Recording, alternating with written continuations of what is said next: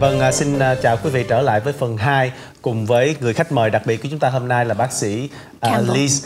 Cùng với lại bác sĩ Hạnh thì cả hai trong lúc mà ngừng giải lao à, một vài phút đó thì cả hai đều nói về vấn đề cái chữ pH là cái uh, mức của cái pH trình hỏi không biết dịch làm sao nhưng mà nó, nó là một cái cái mức ở trong con người mình mà nó mình có khoảng chừng từ 7 cho tới 7.2 là tốt phải không bác sĩ? Dạ, yeah, neutral. À, neutral là nó nó vừa à, và à, nói về cái vấn đề là à, nó liên quan đến sức khỏe của cái gum là cái nướu của mình.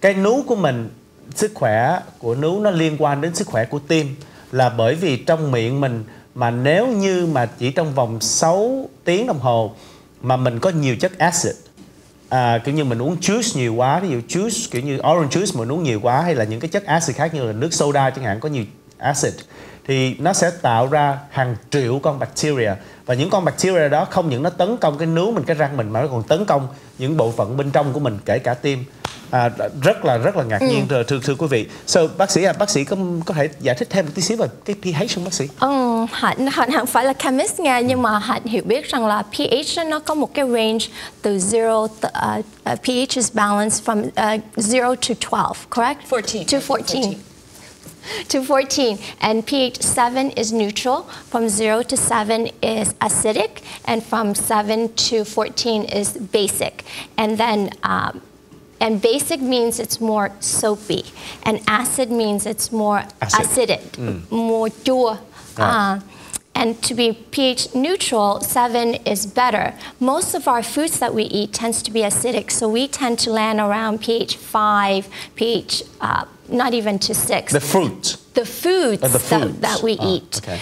But um, medicine nowadays is um, understanding more that the human body needs to be more towards the alkaline side, yeah. a gentle alkaline to be uh, to be more healthy and less. Uh, it ages less. Ừ, ừ. Và thưa quý vị là uh, bác sĩ vừa giải thích một chút tí căn bản về cái pH là nó có từ 0 tới 14 thì từ 0 tới 7 nó gọi là acidic nó là chất acid còn từ 7 tới 14 là chất alkaline à, nó là basic thành thử là nếu mà à, mình ăn đồ ăn thường á, thì nó có nhiều cái chất acid hơn thì nó nó phải từ 4 tới 5 à, thì nếu mà mình muốn cho cái cái người mình nó khỏe hơn à, ít bị lão hóa hơn thì nó phải lên khoảng số số 7 không bác sĩ? Yeah. À, mình mình phải có những cái thuốc hoặc điều trị à, đừng ăn nhiều acid quá. Um, I was really uh, dumbfounded when when you know you told me how bacteria can grow in your mouth even when you don't eat anything. Mm-hmm. I mean, how, how does that happen? Because because of the acid already in your mouth while you rest. Or? Well, you you you know you do have food debris left over from when you're even when you brush well. There's carbohydrates mm. in between the teeth. Sugar dissolves quickly and is gone, but mm. carbohydrates from uh, especially white flour, white rice, Bread, will hang around yeah. a long time, mm. and um, and they will and they will use that to produce more acid. But when your saliva is acidic, and most of our patients are, when they come in, we test everyone with a pH strip, and they all run around six, six point two. A few are good, and you can tell they're good, but um, the bacteria like to grow in that acidic environment, and they will grow quite fast. I always tell my patients about a um, a study that was done with two petri dishes where they had less than 1% bad bacteria for the mouth in each dish. They gave each dish, uh, it was a 10 day experiment, they gave each dish sugar every day but kept them at neutral pH. So every day they got a shot of sugar at neutral pH. One dish, the test dish, for six hours they brought it down to acid, brought it back up to neutral for the final 18 hours of the experiment. So out of 240 hours, it was only acidic for six hours. The dish that had sugar every day but stayed neutral, the bacteria didn't grow at all, stayed less than 1%. The other dish, ah. 55% of that dish became bad bacteria for the mouth wow. in just that six hours. So that's why I tell my patients, I also have a rinse that I encourage them to buy because all the rinses are very acidic and have alcohol in them. We have a rinse that is baking soda and xylitol. Xylitol is a sugar alcohol. I'm probably telling you too much, but um, it's just that it's, I'm passionate about it because it's just too much tooth decay. It's just yeah. too much. Yeah. And if you can keep it, you know, if people just use a rinse before going to bed, it makes a huge difference. Children shouldn't have any decay. None. And they do. They have tons. Yeah. So it just, you know, isn't where I thought it would be 30 years ago. Yeah, yeah. Wow, bác uh, bà, So bà bác sĩ Alice uh, chia sẻ với uh, Trịnh Hội cùng với bác sĩ Hannah Hạnh Vũ rất là nhiều cái chi tiết thú vị thưa quý vị là chúng ta thường tưởng rằng là cái chất đường nó làm cho cái răng nó dễ hư hơn nhưng mà không phải đó là cái chất acid và cái chất gọi carbohydrate carbohydrate là ví dụ như gạo nè ha hoặc là bánh mì hoặc là bột tinh bột thì khi mà ngay khi mình xúc miệng rồi á, thì những cái tinh bột đó nó vẫn còn ở kẹt Sót lại, lại. nó sót lại và cái đó nó sẽ làm cho có nhiều bacteria. Và vì có bacteria thì răng mình mới bị hư. Thành thử là ừ, cái cái vấn đề bà nói bà có cho mình biết có, lúc trước đây đó họ có làm cái test. Và cái test đó là một cái dĩa đồ ăn đó thì à, có nhiều chất acid.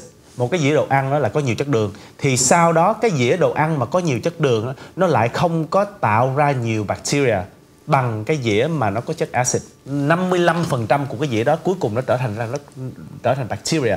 Mà bacteria Dạ. hại. mà bacteria hại cho răng mình. Những bà bà có cảm giác giống như là lẽ ra chúng ta không nên có nhiều răng bị hư hơn. Con nít không có nên bị có nhiều, bị răng hư. Nếu như mình chỉ chịu rinse mình chịu xúc cái cái nước cái cái cái chất nước mà mình xúc miệng bằng cái chất nước đó trước mình đi ngủ chẳng hạn một cái topic rất là interesting phải không bác sĩ nhưng mà bây giờ bây giờ mình có thể nói một tí xíu là là bây giờ bác sĩ Alice có gặp bác sĩ rồi bác sĩ có giúp được Ồ. về bây giờ đã giúp bác sĩ đã học được về răng rồi bác sĩ và bác sĩ Alice có có học được gì từ bác sĩ không Yeah, so he is um, switching the uh, conversation that now that uh, I've learned from you dental health, what did uh, Dr. Campbell learn from me? You. exactly. Did you get to learn anything from her? And and if, if did you get any services from Dr. Uh, Hannah? You know, I've gone to dermatologists all my life. And um, when I met Dr. Hannah, she is so happy to help you through things you, you want to do. And I, I had um, issues on my skin, rough spots, moles, things that I, as I got older, especially middle age, things popped up that made me feel very old. Hmm. So I would go to my other dermatologist that I had some cancer issues with. If I showed it to her, she'd be bored and didn't want to help me. Hmm. I went to Dr. Hannah. She's like, let's get it done. She used her laser. The other doctor used dry ice, which I hmm. hated. That's an older technology. It hurts, mm-hmm. it's messy, and she only wants to do like three, you know, very few. When I went to Dr. Hannah, so quickly, she um, used the laser and she did everything that I was upset about. So now I can wear, you know, open tops, Yeah. my neck looks nicer, and, um, and she did it quickly, and it did not scar at all. It's Yeah. like it disappeared, and it was just I mean, I was surprised too when I first learned about this. I mean, it was amazing. À, vâng, Trịnh Hội còn hỏi là nếu như mà bà bác sĩ à, Elise Alice đã dạy cho bác sĩ Hannah Hạnh Vũ về những cái à, kỹ thuật tân tiến thì à, không biết là bác sĩ Hannah Hạnh Vũ có dạy cho bà bà Alice được cái gì không? Bà nói có chứ. Bởi vì trước đây thì bà có cũng đến gặp những người bác sĩ khác. Ừ, bởi vì trên cái trên cái cổ ngực của bà nó nó có những cái vết tàn nhang, những cái vết uh, nổi uh, mà càng lớn tuổi thì bà càng thấy và bà cảm thấy không có vui khi mà gặp bác sĩ Hannah Hạnh Vũ thì bà mới biết được rằng bà có những cái à, phương pháp nó mới mà làm nó mau nó hoàn toàn nhiều mà lại không để lại vết thẹo nào hết. À, bác sĩ thấy mà bác sĩ uh, Elise này có cái um, có cái gì khác lạ với đối với khác với những người khách hàng khác không? Um, thì bà bác sĩ này lúc nào hạnh cũng thấy rất là sang trọng. Đúng. um, thấy không ờ, không có như là tuổi của của bà. Mà bà chỉ có vài nét mà bà không hài lòng với thôi là dễ trị rồi bây giờ thì bà chỉ đến làm maintenance thôi thỉnh thoảng là một tí cái này một tí cái kia để giữ cái nét đẹp của bà. Ừ. mà hạnh không dám nói thêm hạnh chỉ muốn để cho khách nói tại vì cái đó là cũng cái privacy của họ. À, dạ. à, à, cảm ơn hạnh à, rất là nhiều đã chia sẻ với lại à, mọi người và những cái người khách hàng của của hạnh tại vì thật sự mà nói nha là trình hội nghĩ không phải dễ mà đi có được những khách hàng mà sẵn sàng lên để mà chia sẻ về những cái chuyện rất là riêng tư. I, I was saying that we are also very lucky to have clients. She has clients like you because not only are you knowledgeable in your own field, you are also able to banter around and talk about uh, how you guys get to know each other and how you actually exchange services Yeah. and share knowledge re- in the in the medical field. um, it's it's not And easy. to talk about on camera Yeah. your And to- personal yeah. experience. That's right. It's, it's, it's rare. So we don't have a lot of time left. Um, any uh, advice, you know, the one advice that everyone has to has to hear, apart from the uh, electrical toothbrush that one has Which to he's going to get. but I'm going to go, go and get. Well, I, I think that people should look into more conservative dentistry. You know, try to keep as much of your own tooth structure that you can. Because if you want your teeth to last a lifetime, it's a long life. And teeth really, the more conservative the dentistry is, the better.